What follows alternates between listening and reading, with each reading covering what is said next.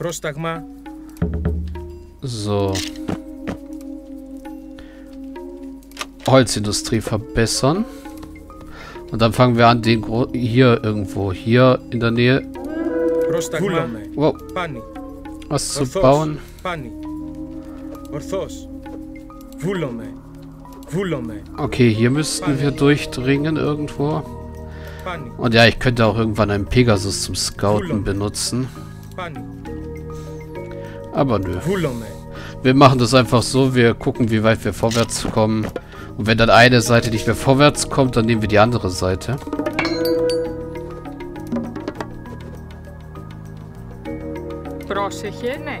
So, meine Arbeitslose, die baut dann nachher da hinten einen Markt. Du baust am besten hier ein neues Vorratslager, weil der Baum ist auch gleich abgeholzt. Ich könnte zum Beispiel bereits hier vordringen und das hier einreißen mit den paar Truppen, die ich habe.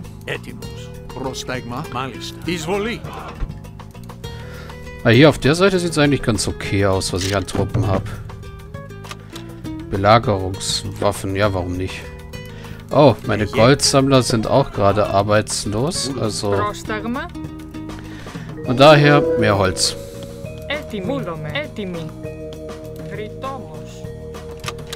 Das reiße ich ein.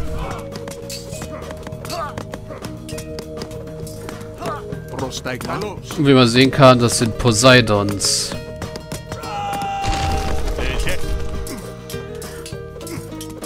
Gebäude und so weiter.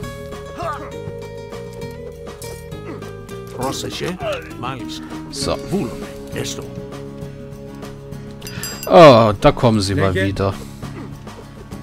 Πάνι. Όρο. Höhere Sichtweite für Gebäude wäre eigentlich auch mal nicht schlecht, Leider. aber... Erstmal Marktplatz.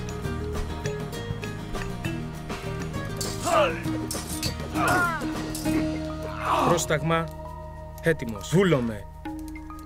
Und hier definitiv mal mehr Hopliten. Wir haben nämlich wahrscheinlich jetzt gerade ganz schön viele verloren. So, Marktplatz. Können wir hier bauen?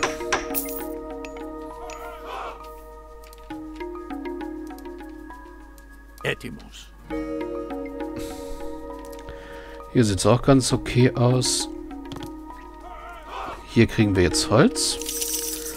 Ja, wir bräuchten noch Holz, um hier den... Ähm Gerade das hier hätte ich gerne endlich mal. Also sparen wir uns jetzt erstmal Holz. Gold und Dings. Nahrung müssen wir uns auch sparen. Wobei wir Nahrung ja jetzt ziemlich gut kriegen. Und Gold dürften wir auch gleich genug kriegen. So, wenn ich drei Esel einstelle, die da immer hin und her pendeln, müsste ich genug kriegen. Senkt die Kosten für den Handel mit Rohstoffen auf dem Marktplatz. Brauche ich jetzt nicht so unbedingt, weil ich kriege eigentlich alles hier recht gut zusammen. Also Nahrung kriege ich unendlich und Gold kriege ich jetzt auch unendlich. Zwar nur immer 6, wenn, das, äh, wenn der Esel hin und her pendelt, aber da sie recht schnell sind, die Esel.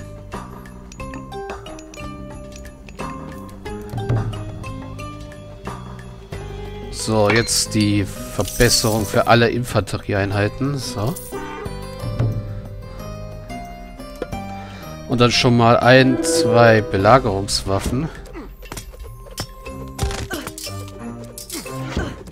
Λέγε. Εισβολή. Έτοιμος. Ja, das sind schwere Hopliten, die haben sogar schon die bessere Panzerung und alles.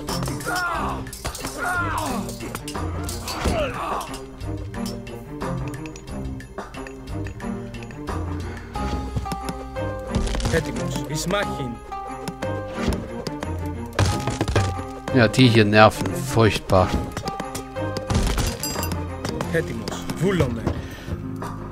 So, noch einen hiervon. Und ja, die Festung können wir dann so einreißen gehen, während hier alles den Rücken deckt. Ah, Sichtweitenverbesserung. Die hätte ich eigentlich auch noch gerne. Der Rest ist eigentlich jetzt gar nicht mal so wichtig, weil der Feind greift irgendwie kaum mit, ähm...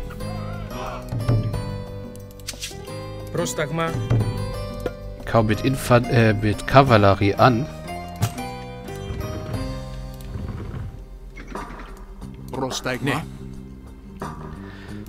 So, ihr haltet hier alles auf. Ich schicke zur Sicherheit Chiron mit. So ein bisschen aufpassen. So, dann kannst du nachher den Turm hier einreißen, den Wachturm. Komm, gib mir noch ein bisschen Holz, dann kann ich die Erweiterung machen. Jawohl. Und jetzt warten wir aufs Gold. Genau, das wird jetzt ein bisschen dauern. Aber wir dürften das hinkriegen mit unseren einfachen Petropolis, diese Festung einzureißen. Dann können wir hier unten einreißen und so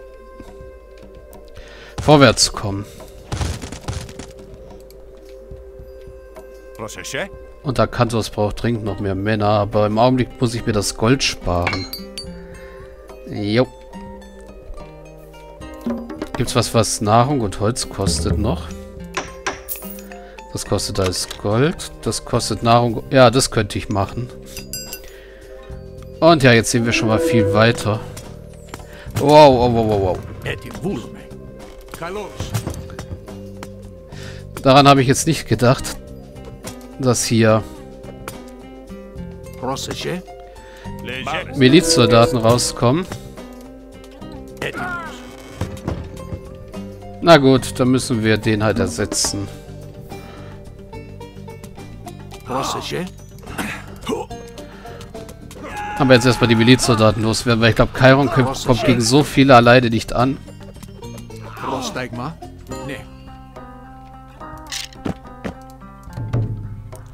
Ah ja, wir haben genug Gold. Also verbessern. Äh, ups. Ja, das wollte ich eigentlich auch machen. So, verbessern wir mal. Also einmal hier Hephaistos.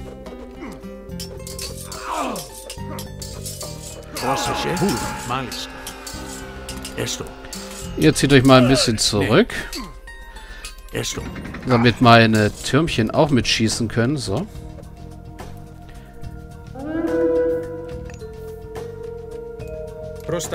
Und jetzt müsst ihr mal voranschreiten. Ajax retten und so.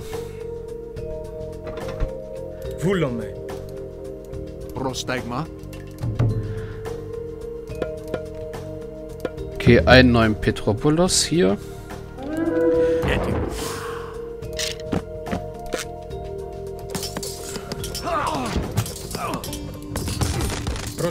Und die Kasernen mal weg, die nerven nämlich nur.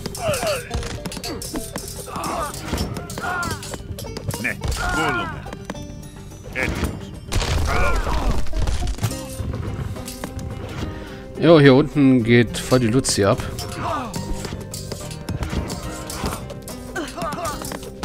Äh, nein, du sollst das hier angreifen, bitte. Ihr sollt am besten alle das hier angreifen. Ach, da ist Athene mal wieder.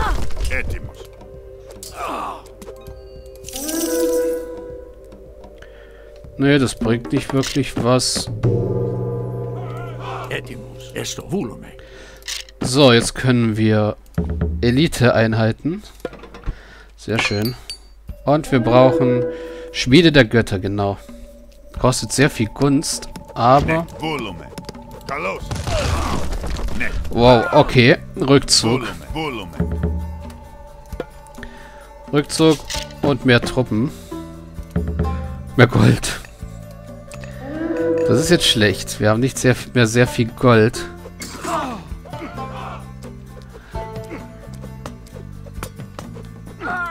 Und wir haben auch nicht mehr sehr viel Truppen. Ich glaube, die sollten sich erst einmal mal ihre Zähne an meiner Befestigung ausbeißen. So, Geschwindigkeit von Karawanen erhöhen. Das ist eine gute Idee.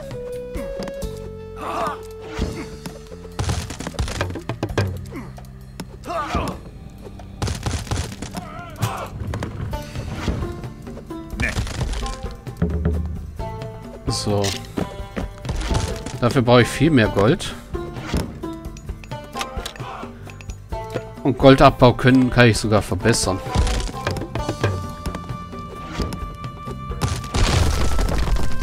Da ist meine Mauer weggegangen. Das heißt, ich muss hier ein bisschen Reparaturen zu leisten.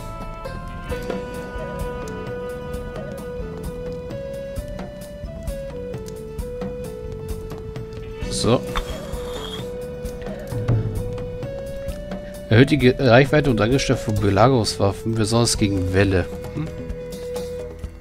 Prostagma, Vulome. Könnte ich demnächst erforschen, will ich aber nicht. Ich will erstmal meine Einheiten verbessern. Und dann muss ich erst wieder mehr Truppen ausheben, weil der Angriff jetzt gerade eben hat mich ziemlich viel gekostet. Ah, und die Spiele der Götter muss ich auch immer noch. Ah, nebenbei. Das könnte ich jetzt mal machen. So, jetzt kriege ich wenigstens stetig Ressourcen. Aber ich habe keine Goldsammler mehr. Äh. Και ναι. Έστω. Das wird jetzt ekelhaft. Έστω. Έτοιμος. Έστω. Έτοιμη. Μάλιστα. Wohnungen.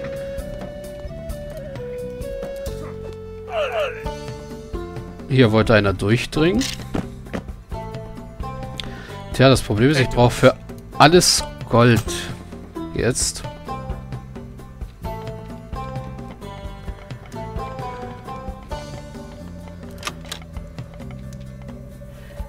Ich könnte eigentlich fast schon hier oben eine Festung hinsetzen und dann können, kann die hier runterballern.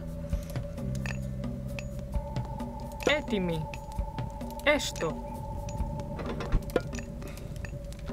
So, meine Verteidigung hier sieht jetzt ein bisschen komisch aus. Aber das ist egal. So, ich krieg Gold. Ich krieg Gold. Das heißt... Erstmal konzentriere ich mich hier auf den Angriff. Nein, erstmal konzentriere ich mich auf Verbesserungen. So war das. Genau.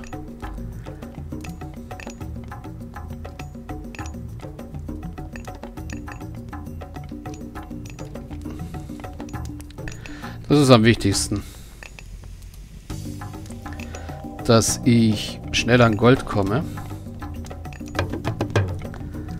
Beziehungsweise, dass ich jetzt die Verbesserung hier erforsche und dann das hier fast alles nichts mehr kostet. Genau. Top, top, top, top. Und mit der ganzen Nahrung, die ich hätte, könnte ich eigentlich auch mal was anfangen. Ich könnte sie verkaufen. Dafür sollte ich aber wirklich die Preise verbessern. Weil ich habe viel zu viel Nahrung und Holz und kaum Gold. Obwohl für die Nahrung könnte ich die Ausbildungszeit... Ja, und Holz könnte ich die Ausbildungszeit von Einheiten verbessern. Für noch mehr Holz könnte ich meine Kolosse verbessern, weil ein, zwei Kolosse zu haben auf der Seite wäre nicht schlecht. Dann bräuchten wir die Belagerungswaffen wenigstens hier drüben nicht mehr.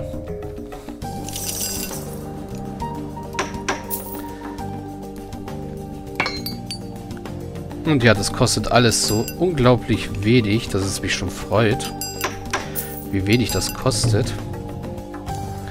Und mir fällt gerade so auf, ich könnte noch Helden ausbilden. So, da Ajax in der Unterzahl ist, kriegt er mal die beiden Helden. Und der ist mir zu teuer. Gut. Ja, so kann eigentlich fast nichts. Egal.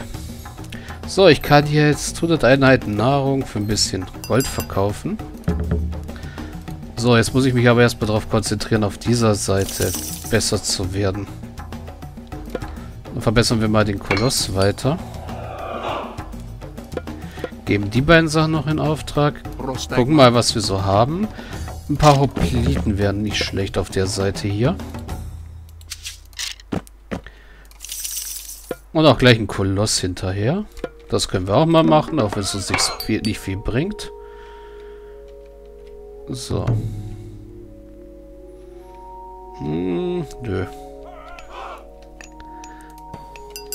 Hier oben ist gerade wirklich alles zum Glück recht ruhig. Ein paar Toxoten. Wir haben nämlich nur vier Stück. Und ein paar Hopliten hier oben auch noch.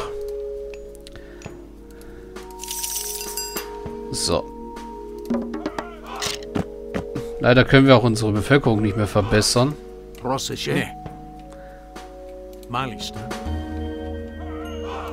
Wir können uns jetzt hier höchstens auf den Weg machen. Mit sehr guten Truppen eigentlich.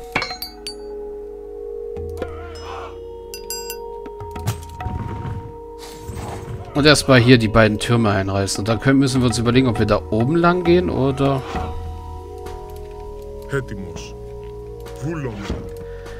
Jo. Die Verbesserung könnten wir noch machen. Wow. minus